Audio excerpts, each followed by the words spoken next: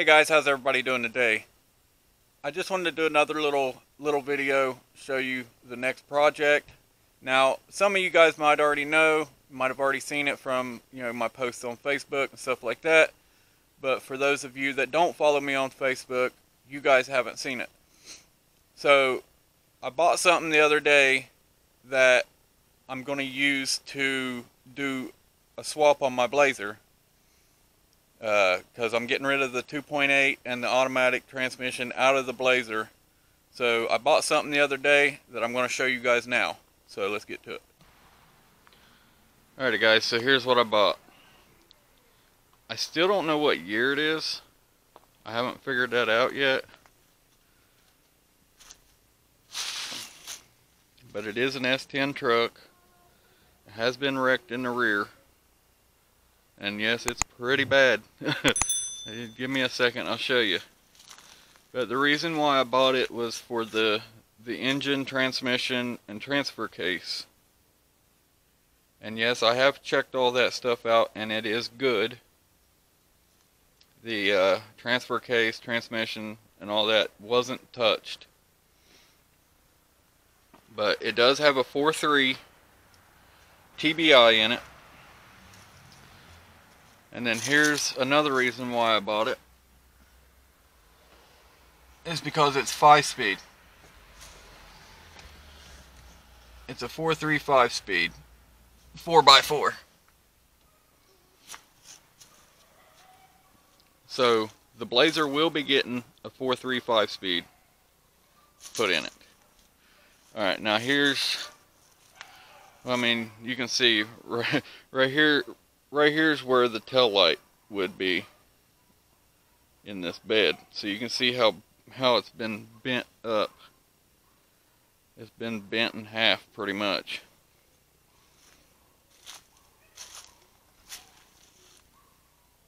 Yeah, that bed's totally totally done.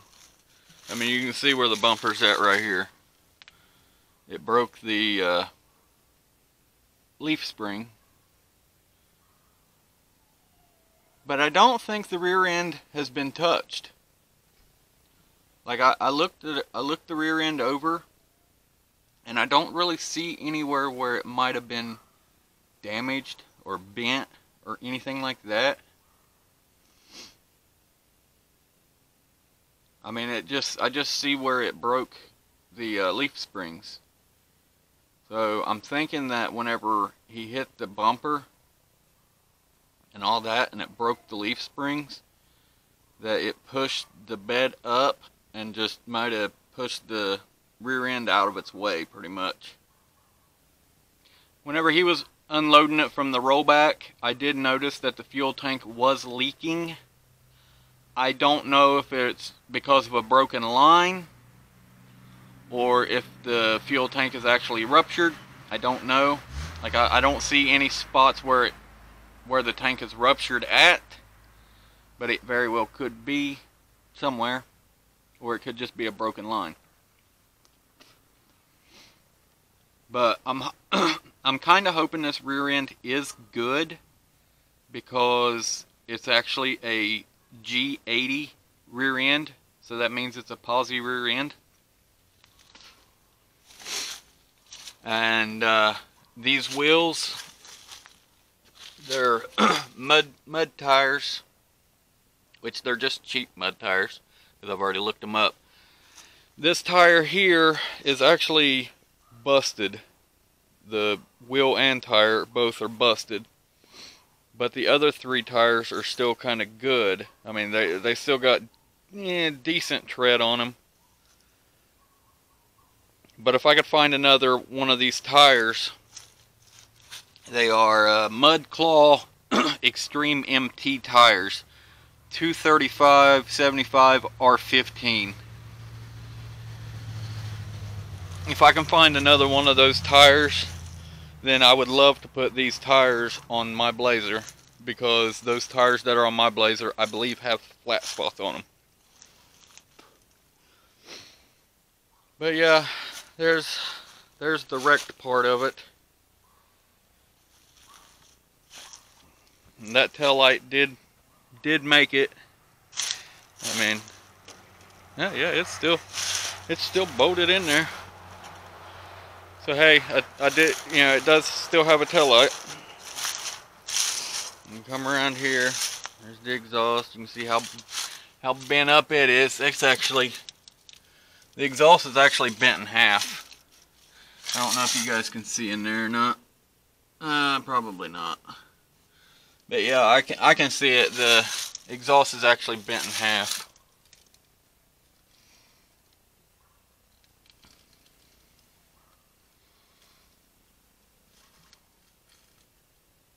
Damn.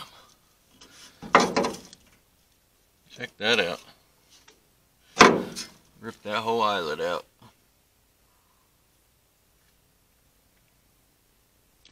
Now, the drive shaft, I did check the drive shaft out, like on the, uh, like the part that goes into the transfer case.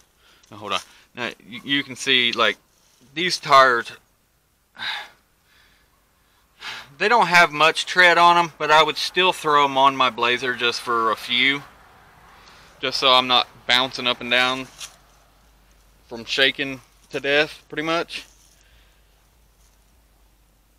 I mean, uh, as far as I know, from what I've seen, these tires are only worth, or only sell for like a hundred bucks. So, okay, on to the drive shaft, guys. Uh, the drive shaft did break right here, as you can see. So I'm thinking that this might be what what saved the transfer case. With you know, was this breaking? Because like I said, I I checked the transfer case. I checked everything pretty much. I even checked this to see if there was any kind of scars on it or anything and I don't see nothing. I don't see any spot where it would have jammed up against something else or anything like that.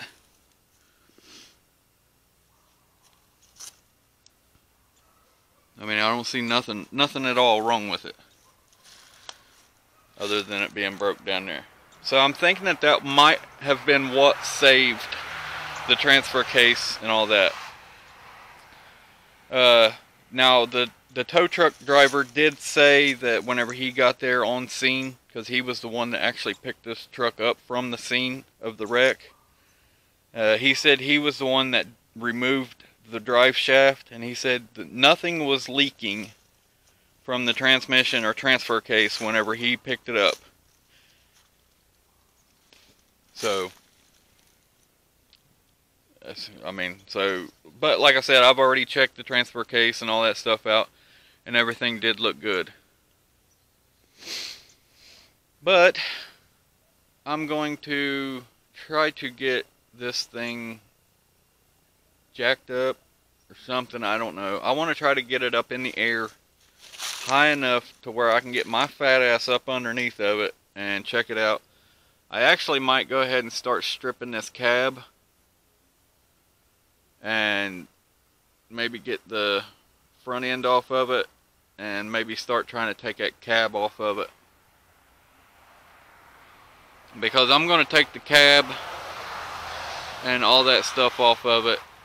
That way I can get to the motor transmission transfer case easier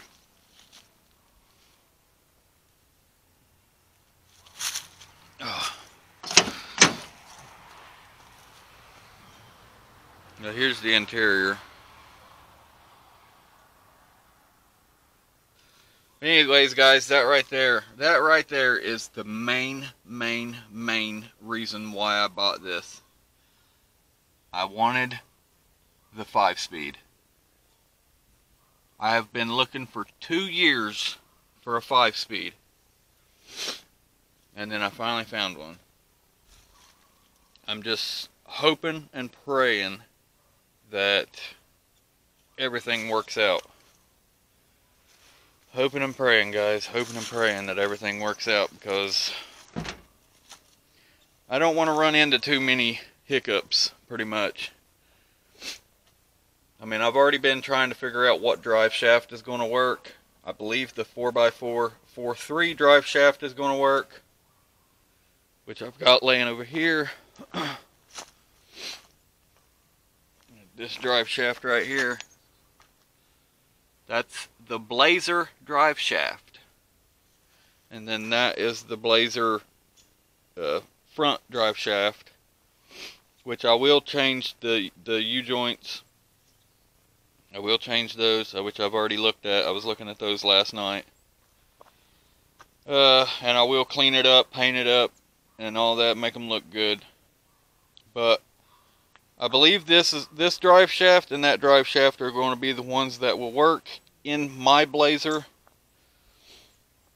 Uh, because the truck drive shaft, I don't know about the front drive shaft, but I know about the rear the rear drive shaft in the truck is longer than what the Blazer drive shaft is.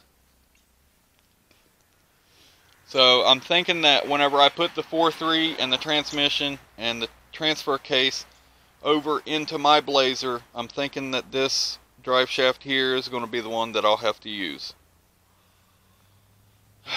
Just because it came from the white two-door two-door Blazer. But yeah guys, that's pretty much it.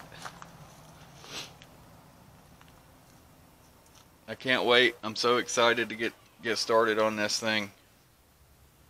I really am. I want, I, I can't wait till it's done. The uh, radiator uh, plastic piece, I guess it broke somehow. No, the motor wasn't pushed forward. I've already looked at the motor mounts and all that stuff too. The motor wasn't pushed forward. The plastic piece broke, I guess from uh, just being old and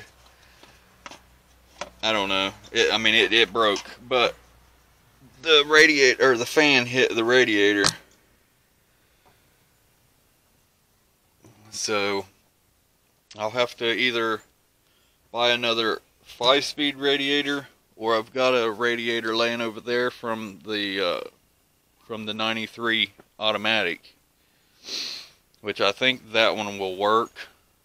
I think an automatic transmission or an automatic radiator will work in a 5-speed, but a 5-speed won't work in an automatic. I, I believe that's right because where the oil or the transmission lines hook up to it or some crap.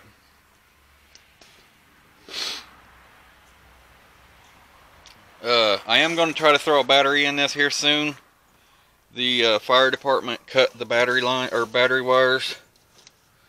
They cut that one there, and then that one there, and also that one.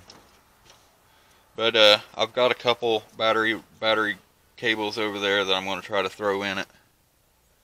That way I can throw a battery in it and start this thing up because I want to I want to start it up and uh, try to go through the gears and stuff like that, make sure everything is 100% good before I start pulling this thing. Now, once I get the motor out, I am planning on doing, you know, valve cover gaskets. Uh, I might pull the intake and do intake gaskets, stuff like that. Because this motor is kind of oily. I mean, it, it looks like it's leaking oil from every orifice it's got. It's got a brand new starter on it.